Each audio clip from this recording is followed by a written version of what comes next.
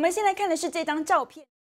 伊拉克南部一处接近干涸的沼泽，而这名男子正在寻找鱼虾。全球水资源严重不足出现的状况，就像这张照片一样。世界有将近三分之一的人口生活在高度缺水的国家，也就是现在全球有二十二亿。多人呢面临缺水的问题。其实早在一九七零年代呢，联合国就已经示警，石油危机之后，下一个危机就是水。而水资源的供给有限，需求却不断的增加，因此水在二十一世纪又被称为蓝金，比石油还更珍贵。美国副总统贺锦丽先前就说过，过去很多年，美国很多人为了石油而战，但在不久的将来会为水而战。他无意间揭露了美国打着捍卫人权、保护民主自由的旗号发动战争，其实是在掠夺别国的石油资源。同时，贺锦丽也有预告，美国盯上了水资源，各国。可能会为水而大动干戈，水资源短缺也牵动地缘政治。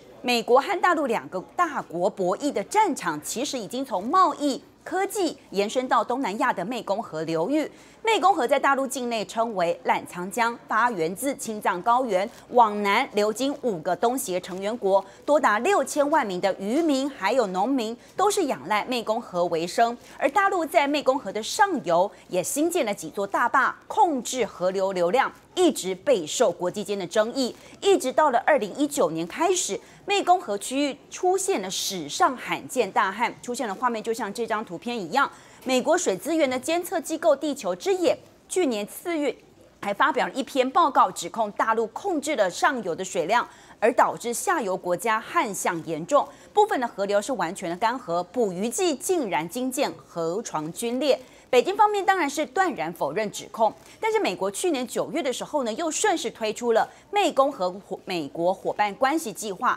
决定提供至少一点五三亿美元给湄公河国家进行区域合作。当时这个举动被当作是和大陆竞争湄公河流域的主导权。在去年底启动，美国国务院呢又资助了湄公河大坝监控计划，利用卫星数据来追踪中国大陆还有其他国家的水坝水位。美中强权在东南亚的角力暗潮汹涌，但是也有专家认为，亚洲最可能爆发水炸弹的地区其实是南亚，而可能动武的国家则是印度，因为说印度十三亿的人口当中有六亿人是面临缺水危机，而水资源的危机其实每一年。在印度就夺走了大约二十万人的性命。南亚七个国家当中，印度竟然因为水的问题，曾经和三个国家，就是巴基斯坦、孟加拉以及尼加、尼泊尔都起过纷争。而最近，大陆确定要在雅鲁藏布江来雅鲁藏布江来新新建这个水电厂。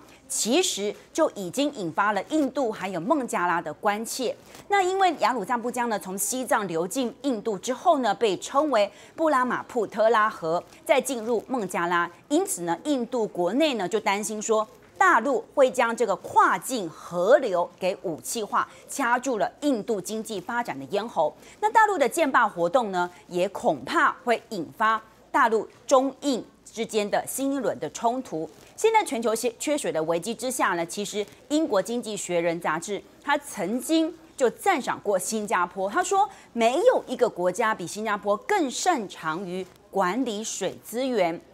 因为呢，今年二月的时候，新加坡第四座海水淡化厂正式开幕了。新加坡自主开发水源呢，当时被誉为是迈入了另一个新的里程碑，因为新加坡呢。地缘小，人又多，因此它的人均水资源的排名是全球倒数第二。那过去新加坡主要的都是依赖马来西亚来供水。可是呢，供水协议不时就是成为整个政治谈判的筹码，因此新加坡很早就有忧患意识，他们想不要因为水价而受制于人，因此决定在这个合约到期的时候，二零六一年之前，新加坡可以全面实现供水自主。现在新加坡已经把水当作是一个战略的资源。主要的水源就是来自四大水龙头，包含跟邻国购水，还有收集雨水以及淡化海水，甚至是再造新生水，就是回收用水。而新生水的技术呢，新加坡从一九七零年研究，一直到二零零二年就研发成功的。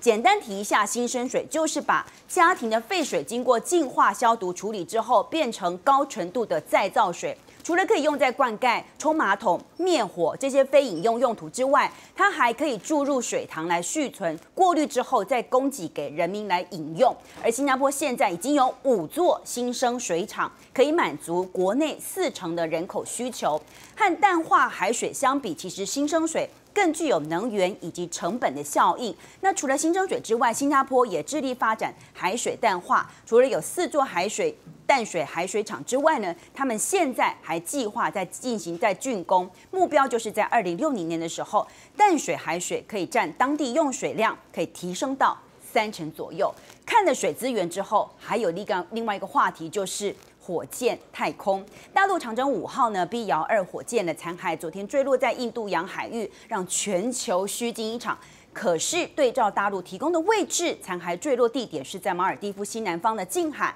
距离最近有人居住的岛屿只有大约。四十二公里还是具备一定的危险性，因此呢，就很多人目击火箭残骸飞过天气天际的一个景象。但大陆宣称呢，绝大部分的器件是在入大气层过程当中给烧毁了。美国太空总署 NASA 随后也有发表声明，批评大陆放任火箭不受控制坠落是不负责任的行为。可是。大陆环球时报总编辑胡新进，他反而批评西方世界对于大陆的太空事业羡慕呢又嫉妒，还说接下来还要密集发射火箭。但美国呢也会以舆论战的方式来阻挠大陆，而大陆绝对不能受他们干扰，让美国来得逞。呼吁美国。大陆应该要加大力度来对外说明平衡美国制造的舆论抹黑，还还放话要围绕空间站建设了一个发射一次也不能耽搁，其他发射呢也必须要按照既定节奏来进行。你想知道最到位的国际时事分析、最精准的国际趋势解读吗？请立刻订阅全球大视野频道，这是中天新开张的国际频道，您可以到中天电视频道首页找到全球大视野频道。点击进入之后，立刻订阅、按赞、分享、开启小铃铛。在您浏览频道影片之后，也请不要忘记按赞、留言。请大家来冲一波订阅全球大视野频道。